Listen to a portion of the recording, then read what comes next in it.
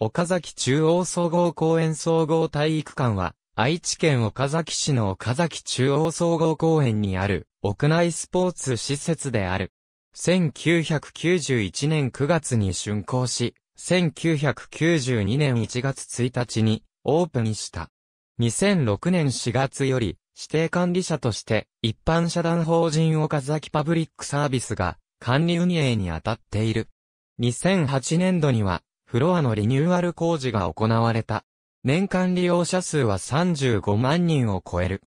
F リーグ開催時の岡崎、中央総合公園中央体育館岡崎100年祭、B リーグの3円ネオフェニックスシーホース、三河や W リーグのトヨタ自動車アンテロープス、V プレミアリーグのデンソーエアリービーズやトヨタ、車体クイーンシーズ、F リーグの名古屋オーシャンズがホームゲームを開催している。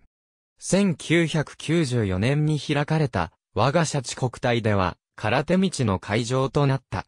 2016年4月6日、大相撲岡崎場所の会場となった。岡崎市で大相撲が開催されるのは18年ぶり。2016年7月1日、武道館棟において、岡崎市政施行100周年記念式が開催された。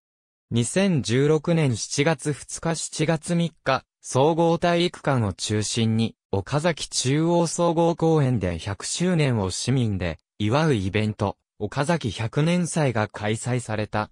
総合体育大会岡崎市内の全中学校運動部が行う体育大会。各学校の1年生による応援合戦も見どころの一つである。ありがとうございます。